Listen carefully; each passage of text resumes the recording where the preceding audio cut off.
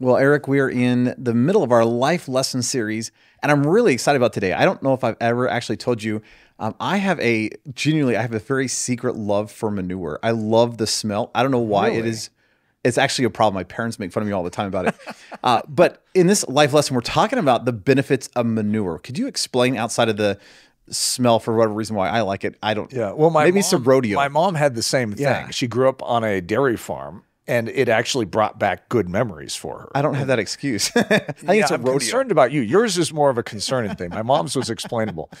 Uh, yeah. So the idea of what, what this means for us, you know, in our sort of dialect here at Ellerslie, is manure is supposed to be sort of a negative thing, even though you uh, find it very attractive. Yes, strangely, it's Most people are going to rank it as a unpleasant thing. You know, they find it on their shoe, they're not happy, right? They find it in their life in their living room, they're not happy. It's it's it doesn't belong there. And when we end up with manure in our life, like someone you know that is a little uh, unhappy or unkind sticks it on our doorstep, we have a tendency to look at that as a negative thing.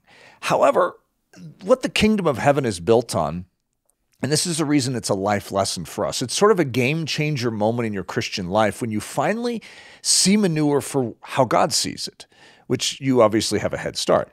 And that is, this is a gift. This is actually something that can make your garden grow. And if you take it, receive it with joy and thanksgiving, and till it into your garden, you actually end up with a greener garden, greater growth in your spiritual life as opposed to when you reject it. When you reject it, you complain about it, it actually can bring you down. And the enemy's tactic with his manure pile actually works then and it destroys our inner life. But when we agree with it, when we embrace it, and when we till it, it actually transforms us. That's so good. I think one of the problems we have in just modern society, probably even the church very specifically, is we we don't go through a process where we allow God to till into the soil of our souls. That we we either you know cherish it somehow or we put a box over it so that nobody can touch it. And it's interesting how manure that's not tilled in becomes hardened, it becomes petrified, it becomes it actually ruins the garden. And it's interesting if we don't allow God to go through that process where He is refining us, He is sanctifying, He's taking that which the enemy meant for evil and He puts it deep within our soul and actually brings about the goodness of that. It is amazing how it actually causes the bitterness and the anger and the frustration, and and it, in a sense, it becomes becomes a twist in our lives. And I, and I think the reason we look at manure in such a negative light, besides the fact that there are problems with it, I will admit that just for clarity's sake. but but when we don't allow God to to actually leverage it, then it actually becomes a very problematic thing in our garden. Would you talk about maybe some practical implications of this? Like uh, like one of our favorite stories is Richard Wurmbrand Yeah. uh, being thrown into prison, or uh, we, we could pick a variety of stories, but you just want to maybe flesh this out. Like what what does this mean practically for God to do a work of tilling manure into our lives? If you go through any of my Daily Thunder series, you're probably going to hear something about this because almost every single one of them is somehow going to gravitate in this direction. It's a big part of my life and your life is attitude and approach to difficulty, to challenge. And so, like in my Theodore Roosevelt uh, series, uh, I have one. It's called the Buffalo, the Bully Buffalo Hunt, and it. I mean, you could almost say this is the theme of it: is the uh, benefits of manure. But Richard Wurmbrand, it's a it's a great story, and that is uh, he he suffers in prison, even solitary confinement for a long time. He's tortured, and for years. I don't remember if it was nine years the first go around. It was a long time, and uh, their entire goal was to break him so that they could leverage his voice as a pastor to the other pastors to say, "Look, I learned my lesson. The communists are right. God doesn't exist." You know that type of a thing. But he wouldn't break. And when he finally was released, uh, the Christians came up to him. It's like, "So what was it like?" And he made a strange statement. He said, "Well, uh, they gave us instruments." He's like, "Who gave you instruments? The guards." The, wait a minute, wait a minute. The communist guards gave you instruments? And he goes, yeah. And with those instruments, we praise the Lord. Wha- wha- Wait a minute, Richard. You, you, you, in prison, the communist guards who hate God gave you instruments. Yes. And with those instruments, you praise the Lord. Yes. And so, come to find out, uh, they gave him chains. And with those chains, he praised the Lord. But the way he looked at it was completely different than the rest of us. We look at those chains as weights, as hindrances, as impediments. And he looked at them as instruments, as an opportunity. Oh, thank you, guards. I, I receive these chains as an opportunity now to worship my Lord in a creative new way. He says, Sing to me a new song. I'm doing that, God. I'm singing with my chains. And that is a profound picture that I think has had a, you know, it's had a big impact on both of us, but it's an attitude of life that if you start cultivating it, it actually changes the tenor of every single situation you enter into. It's so good. Uh, Paul in Romans chapter 5, I think it's verse 3, says that if I'm going to boast on something, we know that Paul boasts about Christ in other parts of his letters. but in but in Romans 5, I think it's verse 3, Paul says that I'm going to boast in my trials. I'm going to boast in my tribulations. I'm going to boast in my persecutions and my hardships. And that really does not make sense, especially in American culture. It, it is interesting how we try to shy away all problems and difficulty. And yet, as as we often teach at Ellerslie, difficulty actually becomes the secret sauce yeah. for the Christian life. It's also interesting to me, and I think it's important maybe to just even mention. Um, I, I find myself having to clarify this for our students that it's not that God has caused the manure always in our life. He'll allow the manure in our life, but He's not an author of sin. So sometimes when when a big pile of manure lands in my garden or my life, it's really easy to start blaming God of like, why did you allow this? And this is all your fault. And God's like, hold it, hold it, hold it. That I did not throw that in there because we know that he is not an author of sin. He, he does not rejoice in wickedness or evil. And yet, what is so encouraging for my life is that even though God may not have caused the manure, and we see this time and time again in scripture where the enemy means something for evil, or the, the enemy is meaning something to kill, to steal, and destroy. And yet, God says, Oh, I could use that. That I, I can take the very thing that the enemy is meaning for destruction and evil to literally cause chaos in your life mm-hmm. and destruction in your soul, and I will leverage that for good. And, and, you see this in the story of like Joseph with his brothers, uh, especially Genesis 50. You see this in Paul's declaration declaration in Romans 8 28 that God is leveraging and working all things for the for the for his purpose and for his good. Why? So that he can conform us to his image, which is verse 29. And it, that is so encouraging because there's so many times in my life that I look, I'm like, look at all this manure. and it's just like, well, okay, but will I allow God to leverage that in my life to actually bring about greater strength, greater victory, greater freedom, greater joy, greater peace? And, and I love just how you've taught it over the years too, of just how it is allowing God to leverage that in our life, to till that into the soil of our soul that actually creates the platform or the avenue through which we actually get healthier and stronger as a Christian. So again, that which the enemy meant for evil and destruction, God is saying, "Oh, this is phenomenal. This That's is right. so good." Will you talk about that in light of just the cross? Because I think the cross is maybe the best example of this whole thing. Yeah, because the cross is it's an evil that is being perpetrated against this pure loving man known as Jesus. Now we know him as God as well.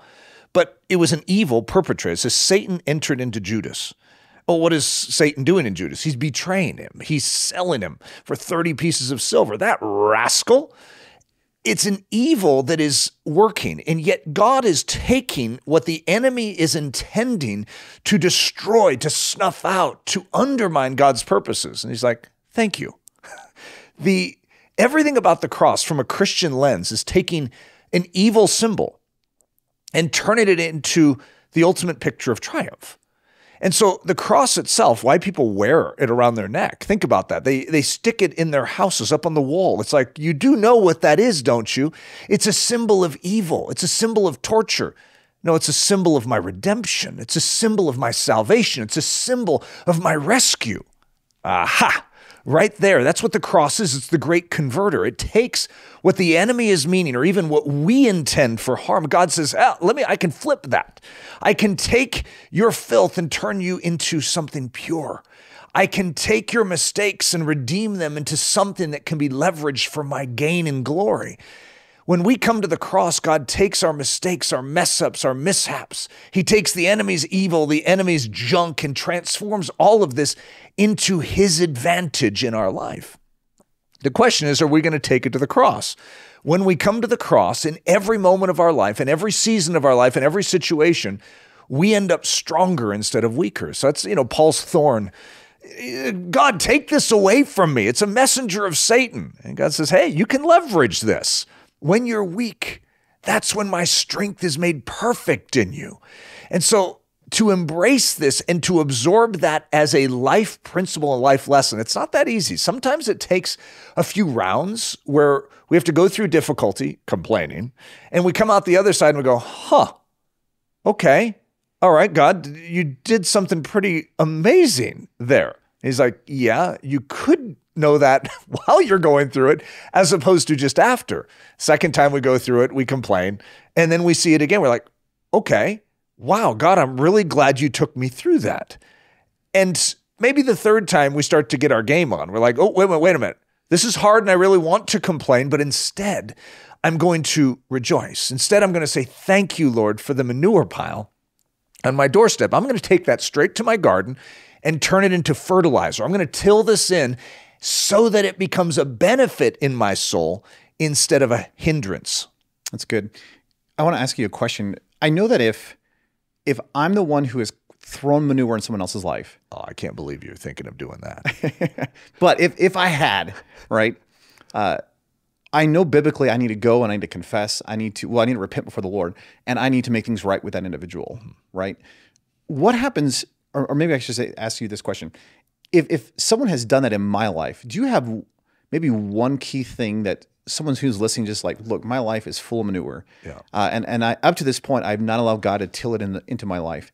Do you have one next step? Is it is it just is it a perspective change? Is is there is it I need to work through forgiveness? Like, do you have a practical thought to give someone who's listening who's just like, I okay, I know I need to make things right if if I've done the manure, but what if someone's done the manure to me? Uh-huh. Well when I sit across from people, which this happens a lot, I, and I know you and I are both in the same boat, we're talking to people that have been in this situation. It's usually one of the things they want to work through is they can see something like they know that this is an impediment. They know that they're struggling with something, but they don't know how to get out of it. And typically when they're talking to me, I start chuckling. And that's that's a common feature in many conversations that I've had where they're like, "What are you laughing at?" I just this is good. Like, "What do you what do you mean it's good? and I just chuckle along because I know I know the brilliance of our God. And I know that they are being set up for seeing a conversion of the enemy's yuck in their life. And so it actually gets me excited. And I think part of it is just beginning to just stop and stop playing the devil's game. The devil, his entire game is to get you to have a grievance, is to get you to stumble over unforgiveness, bitterness, or resentment. I mean, that's his entire game. So you're minding your own business, just sort of making your way through life, and someone has an issue and they throw their issue on you. And the enemy's like, hey, what are you going to do about that? That's an, you know, hey, you need to have a grievance for that. That's the enemy's game. You see, when we begin to sort of like water off a duck's back, you, you take that grievance and you immediately begin to see it just with a new lens. It's like the different glasses. Okay, take off those glasses of grievance, set them over there. This is an opportunity given to you by the Lord to actually showcase his nature on this earth. You have grace in and of yourself in your own pockets we struggle with forgiveness. We really do. I mean, a grievance can just weigh us down, it can really injure our souls. But we have a Redeemer, and He gives us grace to actually see each of these situations redeemed in our life. So, if we could say the most micro decision that we could have in that, I'm not exactly sure what's first. If it's to rejoice, if it's to say, Thank you, Lord, if it's to say, Lord, I ask for your grace in this moment to actually have a movement of my inner man towards forgiveness, towards life, instead of playing the devil's game. I don't want to play the devil's game anymore. That's good. And I think if somebody wants to take this even deeper, considering coming out here for whether it's our five week or our one week programs, could actually be another great step because we spend a lot of time dealing with this particular issue and diving deep into how do we actually live this thing out practically. And then if they're not doing that in the meantime, tell us the name of the Buffalo episode again from Teddy Roosevelt? I know I always get it wrong too. It's the number bully, two. the bully buffalo hunt. I think that'd be a great episode for someone to listen to. Just even process and take this even deeper. So thank you.